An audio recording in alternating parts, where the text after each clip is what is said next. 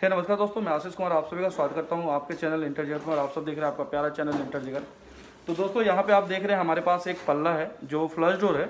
तो इसमें हम लोग अलग अलग तरीके का हमेशा डिज़ाइन करते हैं। कभी हम लोग चारकोल लगाते हैं, कभी हम लोग लेमिनेट लगाते हैं, कभी लेमिनेट के साथ में हम लोग टी पट्टी लगाते हैं। तो इस दरवाजे में जो है, इस फ्लश डोर में जो है, सेम वैसा ही कुछ हम लोगों ने डिज़ाइन किया है कि इसको हम लोग एक नॉर्मल जो स्क्रीन होता है, उसको नहीं लगा के थोड़ा बहुत हम लोग उसमें कस्टमाइज डिज़ाइन करते हैं। तो वो डिज़ाइन मैं आपको यहाँ पे आज दिखाने वाला हूँ कि हम लोग कैसे इसमें ये जो ग्रुप आप देख रहे हैं, मिस्त्री काम कर रहा है, ये साइड में हम लोगों ने, इस साइड में एक आठ इंची का पट्टी हम लोगों ने सरमाइका का दिया है और यहाँ पे हम लोगों ने ग्रुप ग्रुप करके, इसमें हम लोग एक हाईलाइटर देंगे जो टी पट्टी हम लोग बोलते हैं टी प्रोफ़ाइल जिसको बोलते हैं हम लोग। तो वो हम लोग का आठ एम का टी प्रोफ़ाइल हम लोग यूज़ करने वाले हैं। तो वो कैसे यूज़ करते हैं इस वीडियो में मैं आपको दिखाने वाला हूँ। तो अगर आप वीडियो में नए हैं तो प्लीज़ आप हमारे चैनल को सब्सक्राइब कर लीजिएगा और हो सके तो वीडियो को लाइक कर लीजिएगा। तो चलिए वीडियो में चलते हैं और मैं आपको पूरा डिटेल से एक बता के दिखाता हूँ कि हम लोग दरवाजे को कैसे डिज़ाइन कर सकते हैं। ये जो दरवाज़ा हम लोग का पेस्टिंग हो गया है, जो कि आप यहाँ पे देख रहे हैं, ये हम लोग का फ्लश डोर था, जैसे यहाँ पे आप देख रहे हैं, ये एक ऐसा डोर पुराना वाला डोर फ्लट में कलर करके दिया जाता है। तो इसको हम लोग पहले ग्राइंडर करते हैं, जो कि आप यहाँ पे देख रहे हैं। और इस साइड में हम लोगों ने पेस्टिंग कर लिया। पेस्टिंग करने के बाद, ये जो आप देख रहे हैं, ऐसा हम लोग पूरा सीट जो होता है, एक पेस्टिंग करते हैं। पूरा सीट पेस्टिंग करने के बाद ग्रुप जो होता है, हम लोग लेमिनेट को कटिंग करके पहले रख लेते हैं, जो एक पूरा सीट है, ताकि फिगर जो है लेमिनेट का वो एकदम फिगर सीधा रहे वर्टिकल जो डिज़ाइन है, वो फिगर मिसमैच ना हो। इसके वजह से पूरा सीट को हम लोग पहले साइड में एकदम इसको कटिंग कर लेते हैं साइज़ का। फिर उसके बाद इसको रख के टेप मार के फिर इसका साइज़ का ये मेज़रमेंट जो हम लोग ग्रुप करना है, जितना इसको भाग कर लेते हैं डिवाइडेड कर लेते हैं तो ये हम लोगों ने एक, दो, तीन, चार, पाँच पाँच कटिंग किया है। ग्रुप जो है एक, दो, तीन, चार ग्रुप दिया है। अब ये जो ग्रुप है, ये ग्रुप हम लोगों ने कैसे दिया है? ये जो आप टीप पट्टी देख रहे हैं, ये हम लोग का आठ एम का टीप पट्टी है। यहाँ पे अगर मैं आपको रख के दिखाऊँ तो ये हम लोग का आठ एम का टिप पट्टी है। और ये जो ग्रुप है ना, ये ग्रुप मशीन जो हम लोग का कटर मशीन होता है, मैं आपको दिखा देता हूँ। ये जो कटर मशीन है हमारा कटर मशीन का जो ब्लेड है ना, ये जो आप ब्लेड देख रहे हैं, सिर्फ़ ये ब्लेड का जो दर मतलब जो एज है मतलब जो थिकनेस है, ये मशीन सिंगल लाइन यहाँ पे हम लोग इसको यहाँ पे चला देते हैं। तो ये सिंगल लाइन हम लोग यहाँ पे चला दिए हैं, जो कि आप देख रहे हैं। सारा जो भी ग्रुप है सभी हम लोगों ने सिंगल लाइन यहाँ पे चला दिया है। उसके बाद ये जो टी पट्टी है, ये टी पट्टी हम लोग क्या करते हैं? ये हम लोग हाईलाइटर करने के लिए ऐसा यहाँ पे लगा देंगे। तो ये चीज़ आप देख सकते हैं, जब ये लगेगा तो ये आप काफ़ी सुंदर लगेगा। तो इसको मैं लगाते हुए मैं आपको दिखाऊँगा कि इसमें टी पट्टी हम लोग कैसे लगाने वाले हैं। यहाँ पे हमारे पास ये जो टी पट्टी है, ये हम लोग का आठ फीट का टी पट्टी हम लोग का ये होता है। ये जो आप देख रहे हैं, ये आठ फीट का पूरा टी पट्टी है लंबा सा। इसको अभी मैं आपको लगा के यहाँ पे दिखाऊँगा। उसके बाद इसमें जो एक प्रॉब्लम होता है कभी कभी हम लोग जो है यहाँ पे पेस्टिंग किया है तो इसमें बीच बीच में कहीं कहीं फेविकॉल रह जाता है, या फिर कहीं कहीं जाम हो जाता है। मान लीजिए हम लोग इसको सीट में पेस्टिंग किए तो हल्का यहाँ पे प्लाई वगैरह का डस्ट या फिर फेविकॉल जो रहता है, इसकी वजह से क्या करते हैं हम लोग थोड़ा सा जो भी डस्ट है, उसको साफ़ करने के लिए हम लोग ऐसे, आप अलग तरीके से भी कर सकते हैं, लेकिन यहाँ पे हम लोग एक हैक्सो ब्लेड को लेके थोड़ा बहुत इसका क्लियर कर रहे हैं क्या, जो भी इसमें डस्ट वगैरह है, फेविकॉल है, उसको हम लोग हटा रहे हैं। इस तरीके से। और ये मैं आपको लगाने के कैसे लगाते हैं वो मैं आपको यहाँ पे दिखा दूँगा। अभी हम लोग का ये क्लियर हो गया है तो अभी इसका जो साइज़ है, इसको हम लोगों ने यहाँ पे जगह में देख के यहाँ पे इसको हम लोग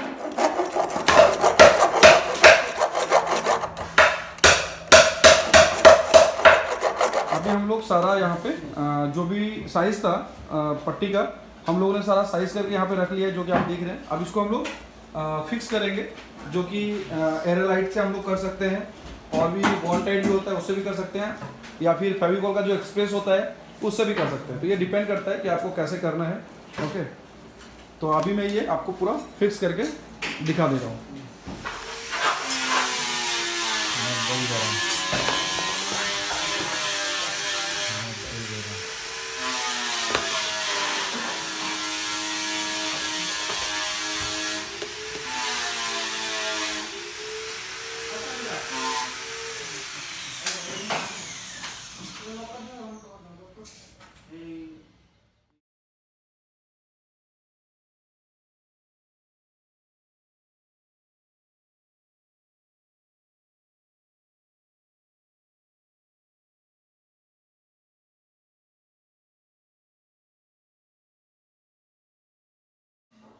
जैसे कि आप देख रहे हैं, यहाँ पे हम लोग का बॉन्ड टाइट इसमें हम लोगों ने लगा लिया लिक्विड जो है।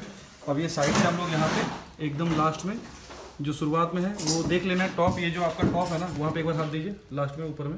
ये जो लेवल है, ये लेवल आपको देखना है, ताकि ये समान है कि नहीं। और इसके बाद इसको आपको पुश करना है, एकदम आराम से पकड़िए।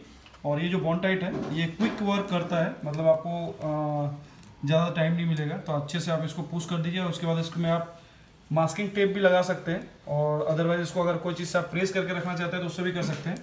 तो अगर आप मास्किंग टेप लगा देते हैं तो क्या है कि वो थोड़ा और भी बैठा हुआ रहेगा, उठा हुआ नहीं रहेगा। तो इस तरीके से आप इसको टी पट्टी जो है, और ये जो टी पट्टी हमारा है, ये आठ एम का है, जैसे मैंने आपको पहले बताया।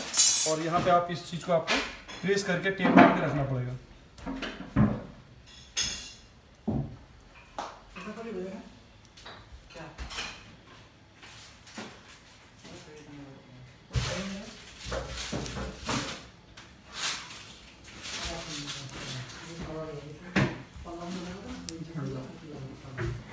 आप देख सकते हैं कि इसका जो गैप है, जब दबते दाब के रखते हैं तो ये जो ज्वाइंट है इसका गैप जो है, ये गैप बिल्कुल ही आपको नहीं दिखेगा।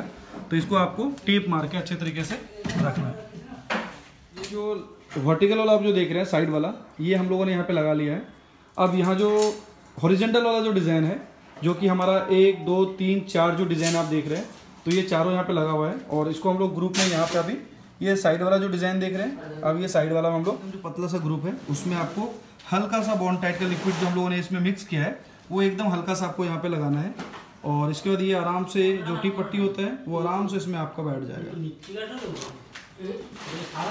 और इस चीज़ का ध्यान रखना है कि जब भी बॉन्ड टाइट आप मिलाएँ तो अगर आपका काम फास्ट जितना भी फास्ट है, आप इसको लगाते लगाते एक ही पीस लगाते लगाते वो ड्राई हो जाएगा। तो हमेशा जैसे कि अभी हम लोगों ने ये लगाया था, इसके लिए अलग मिलाया था।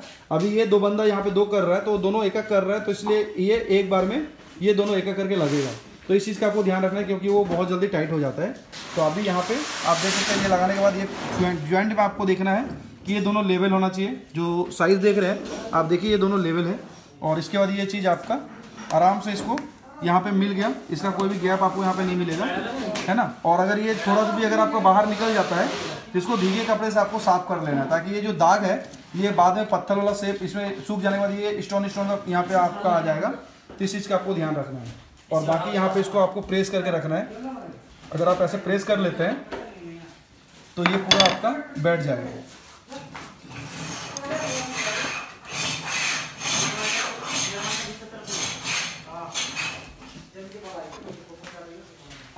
तो इस तरीके से जो है, आप अपना जो पट्टी है, दरवाजे का जो डिज़ाइन है, आप ऐसा कर सकते हैं जो कि आप देख रहे हैं।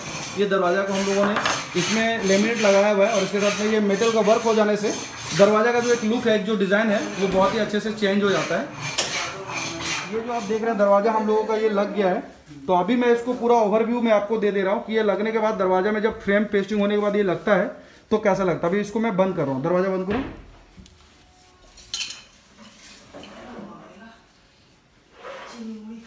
ये आप देख सकते हैं इसमें। ये जो दरवाज़ा है, अभी हमारा ये जो फिनिशिंग है, ये चार दो का फ्रेम है और ये आप जब साइड से रिफ्लेक्शन इसमें जब देखेंगे तो ये एक जो टी पट्टी होता है। इसमें एक प्ले रिफ्लेक्शन प्ले होता है। तो जिसकी वजह से ये दरवाज़ा का जो हाईलाइटर है, ये काफ़ी अच्छा लगता है, काफ़ी सुंदर लगता है। तो इस तरीके से आप अपना दरवाज़ा का डिज़ाइन टी पट्टी के सहारे कर सकते हैं। तो जैसा कि आप लोगों ने देखा इस वीडियो में दोस्तों कि हमने यहाँ पे आपको दिखाया कि ये जो दरवाज़ा है, दरवाज़ा में टी पट्टी कैसे लगाते हैं, लेमिनेट पेस्टिंग के साथ में। तो ये आपने देखा, अगर आपको वीडियो अच्छा लगा तो प्लीज़ वीडियो को लाइक कीजिएगा, हमारे चैनल को सब्सक्राइब कीजिएगा, और हो सके तो इस वीडियो को शेयर भी कीजिएगा, ओके? तो आज के लिए इतना ही। जय हिंद, जय भारत, घर में रहिएगा, सुरक्षित रहिएगा। Bye bye.